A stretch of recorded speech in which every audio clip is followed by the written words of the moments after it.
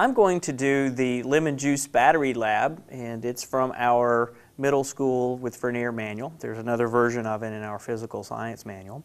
And in this lab, we're going to make batteries out of lemons and a variety of materials you can find uh, that we will use for electrodes to insert into the lemon. And uh, I've already uh, made some slits here. Uh, the lab asked the, the students to make a couple of slits uh, that are approximately two centimeters apart. And they can take a, a scalpel or a sharp knife and, and cut down into there so that they can insert the uh, electrodes. Now, depending on the age range of your students, whether or not you want them to have a knife or not, that's up to you. But just keep in mind you can do that in advance. Saves time and, and you don't have to deal with sharp objects there. Um, so, so now I've got the lemon and let's talk about what we have with our electrode materials. Uh, I have a copper strip and there is a steel nail, which is steel is mostly iron, so the lab talks about using iron. I have a galvanized nail, and uh, galvanized means it's actually coated with zinc. So I have this will end up being my zinc electrode. I have some magnesium strips here.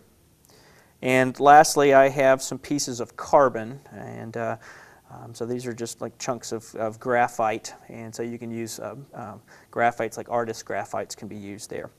And um, so those are my uh, electrode materials. So now I'm ready to assemble the battery and uh, I'm going to start off by pressing the, the, carbon down into the lemon there and I have a paper towel to clean up some of the juice that comes out. So I have my carbon in there and then the lab says well let's start off with a steel nail. So I insert the, the steel or the iron nail into the lemon there. So now I have my battery uh, ready for testing. Um, so next I have to attach uh, some wires to it, or electrodes, so that we can actually uh, make the measurements there. So I need to put the, the black lead, I'm going to put on the nail. And then the red lead I will put on the carbon. And uh, so I've done that. And now we're ready to actually measure our voltage and we're going to use the differential voltage probe and um, we'll attach these leads to the end of our other leads uh, to be able to, uh, to measure that. Uh, but first we need to plug in the sensor to the LabQuest and it has a variety of ports there so I think I'll just use uh, port number one.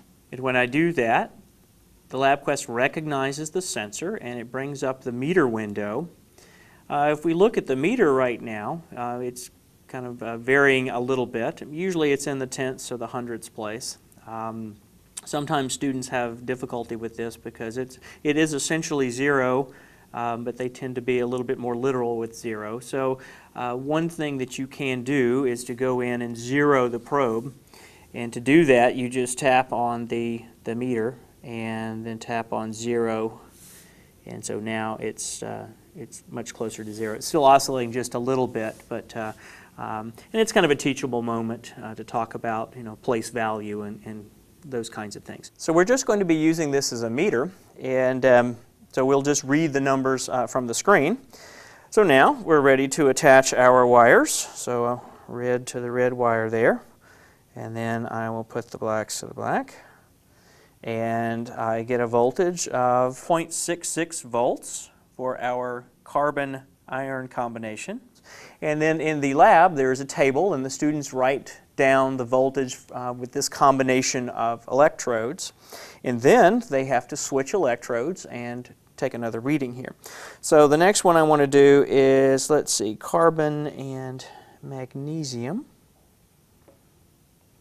It doesn't really matter what order you do it, but uh, I'll do it in the order that it's in the lab. I need to insert that into the lemon. We have 1.87 volts. And lastly, for this here, or this for the, with our carbon connection, we'll go carbon and zinc. We have 1.10 volts for our carbon zinc combination. Well, I've finished my trials here with the different electrodes. And uh, so now um, we could go and take a look at the different voltages and compare what kind of results we get with the different electrodes and the, and the lemon. Um, there are some variations uh, that you might try to, um, you know, that uh, often students will come up with on their own. They'll want to try other fruits, uh, for example. So they're already thinking about the variables um, that they may want to manipulate. So you might try a grapefruit or an apple. Um, they may want to try different metals just to see what kind of voltages they, um, they obtain there. And uh, really, the concepts that we're covering here, um, there's some chemistry concepts with electrochemistry, and of course, things with batteries are you know big. They always want to know how batteries work, and uh, so it's you're you're touching on that uh, when you do this lab. Um, if you would like a, a, copy of this lab, it's available at our website for download. And, uh, or if you have our manual, uh, we will actually, you have the word processing file for this lab. And if you want to make changes, uh, you, you may do so. And so it's a really nice lab for uh, students to investigate uh, the world around them.